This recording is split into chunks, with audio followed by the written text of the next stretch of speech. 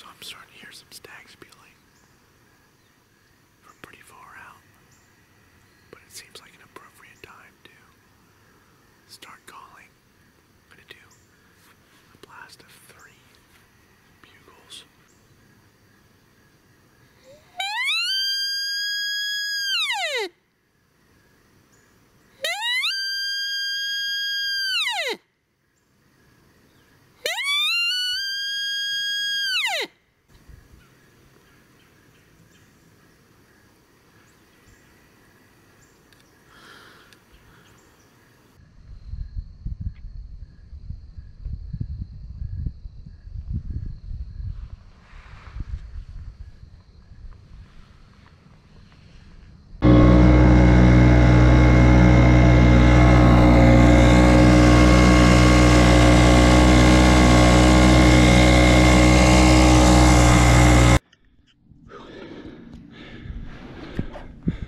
Well, I shut the motor down because it was making a clinking noise. One of these bolts came loose, that guy. But now she won't start back up. You know, I'm about two miles away from each shore. So that's not good. Let's see if this thing will fire up.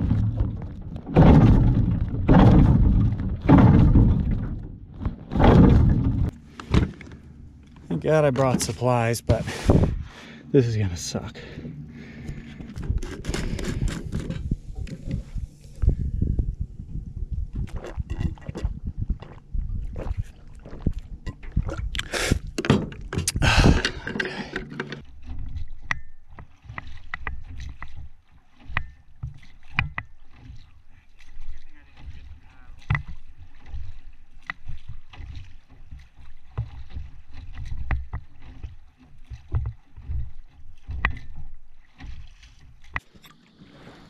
All right, made it back.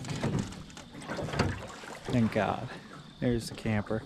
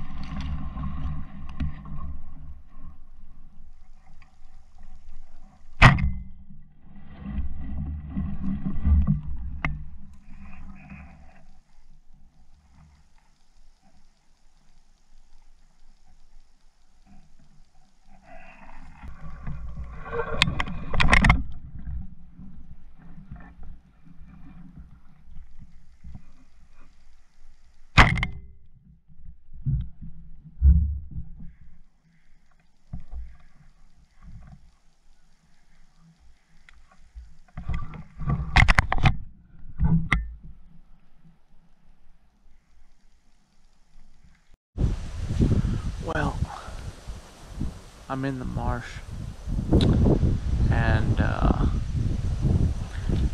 on my way in around noon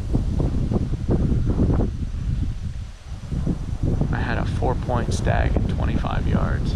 I was on the ground, took a shot, and I missed. It was a nice stag. Didn't have time to pull the GoPro out for that. It was just right in front of me. I just blew it. So, I'm gonna go again, see what happens. I'm in a marsh pretty deep in. Only a couple trees around here you can shoot from. The wind's good. A lot of trails come to this little area right here.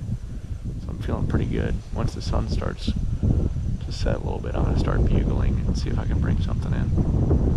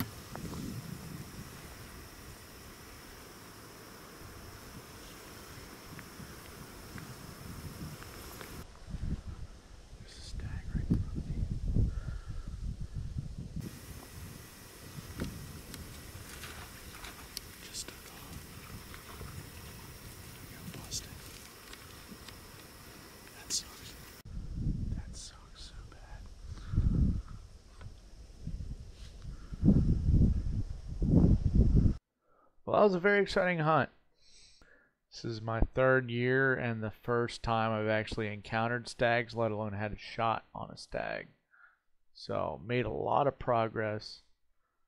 Made a couple rookie mistakes on my part, and uh, you know, uh, the first mistake I made was rushing the shot on that first stag. I just kind of waited for him to get through an opening and pulled back and didn't really take my time with the shot and missed it. Second mistake was when that second stag came in at the end of uh, Thursday night. I was trying to fiddle with my camera and I bumped my bow on my climber and it got his attention. And then I kept moving trying to record it afterwards and cost me a stag. He was coming right for me. He was at 35 yards. So, yeah, a lot of misses right there. A lot of missed opportunities, but a lot of learning opportunities. And I hope the people watching this will, you know, learn from my mistakes. This is why I'm making these videos. Um, and then Seth had that dude can overcome a lot of adversity.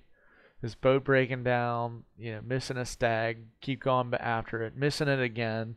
He just doesn't quit, and that's one thing you need to have to be a, a bow hunter is you just you cannot give up no matter what. So one last thing, I just wanted to uh, thank you guys so much for uh, the love you guys showed on my last longbow video. I know you guys could have roasted me terribly, you know, and there was some good, honest criticism in there, but every one of those comments ended in, you know, encouragement, and you know that's that's a really awesome thing to see in here. And um, Eastern Shore guys, give me your input on this. Like, calling, uh, setups, uh, whatever you guys know. You know, if you have any input or insight, please let me know on this, on the comments of this video. Um, I just thank you guys and welcome to all the new subscribers. Stay tuned for next week's video. Will the curse be broken? That is the question. Dear Jesus,